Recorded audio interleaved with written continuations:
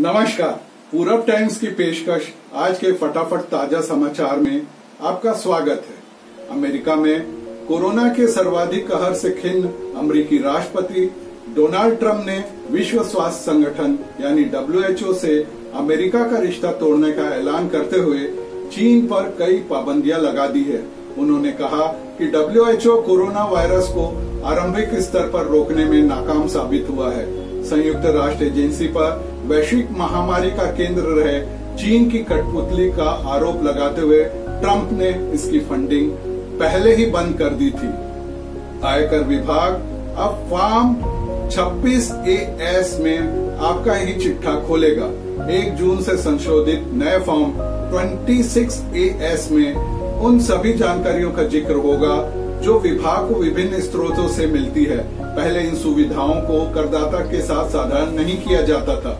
संशोधित form 26 as में संपत्ति और शेयर लेन देन की पूरी सूचना को शामिल किया गया है। टीडीएस टीसीएस के ब्यौरे के साथ कुछ निश्चित वित्तीय लेन देन करों के भुगतान किसी करदाता द्वारा एक वित्त वर्ष में डिमांड रिफंड से संबंधित लंबित या पूरी हो चुकी प्रक्रिया की सूचना को भी शामिल किया गया है। आगरा में शुक्रवार को 124 किलोमीटर प्रति घंटे की रफ्तार से हवा चली। इससे विश्व के सात आश्चर्यों में शामिल ताजमहल स्थित संगमरमर की मुख्य कब्र की रेलिंग भी टूट गई। इसके अलावा एक अन्य हिस्से में भी नुकसान की खबर है।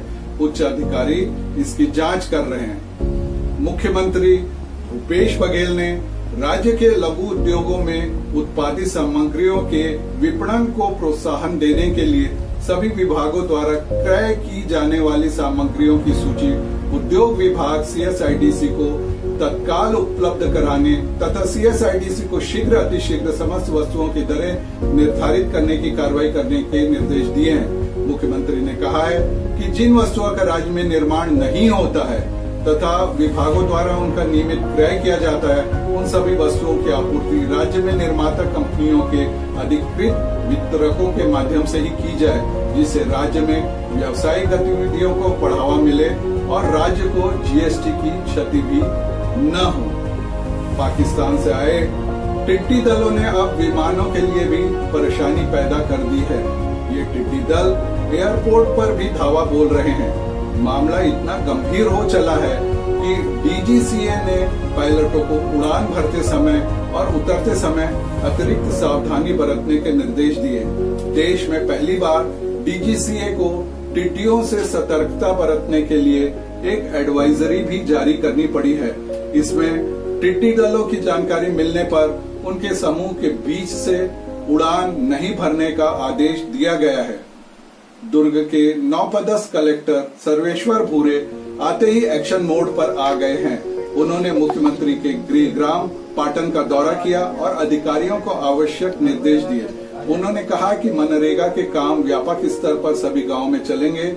इसके अलावा क्वारंटीन सेंटर में स्किल डेवलपमेंट का कार्य होगा। पाटन शहर की सुंदरता के लिए शहर को जोड़ने वाली सड़कें होंगी गुलमहर से गुलजार और डिवाइडर में अमलतास लगेंगे। कलेक्टर ने S L R M centre और यहाँ से लगा गोठान भी देखा। नगर पालिका निगम भिलाई क्षेत्र अंतर्गत कैंप दो वार्ड 21 वैकुंठ धाम में भिलाई जिला दुर्ग के एकमात्र एक्टिव कोरोना पॉजिटिव पाए गए नागरिक के घर के 100 मीटर के कंटेनमेंट क्षेत्र की परिधि में घर घर सैनिटाइजिंग का कार्य युद्ध स्तर पर प्रारंभ कर दिया गया है। वैकुंठ धाम, देवांगन भवन रोड के आसपास कोरोना पॉजिटिव मरीज़ के घर के सामने धुआँ का छिड़काव भी किया गया।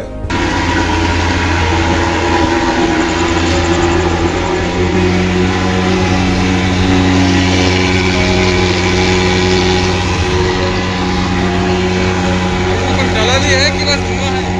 सर डाले ना मेरा दवाई है ना। सुरेंद्र कहा छत्तीसगढ़ की राजधानी रायपुर सहित मध्य छत्तीसगढ़ दुर्ग धमतरी, महासमुंद में बीती रात गरज चमक के साथ बारिश हुई। सुबह तक रिमझिम बारिश का सिलसिला जारी रहा। इससे नौतपा की तपन से जन सामान्य को राहत मिली है। 45 से 46 डिग्री तक पहुँच गए तापमान का ग्राफ गिरकर सुबह 30 डिग्री हो गया है। रायपुर स्थित मौसम विज्ञान केंद्र के मौसम वैज्ञानिक आर के बैस ने बताया कि एक द्रोणिका पंजाब से उत्तर छत्तीसगढ़ और दूसरा द्रोणिकर विदर्भ से तमिलनाडु के बीच बनी हुई है। इसके प्रभाव से कुछ स्थानों पर गरज चमक के साथ बारिश हो रही है। अगले 24 घंटे में कुछ स्थानों पर आकाशीय बिजली गिरने और गरज चमक के साथ बूंदाबांदी होने की संभावना है।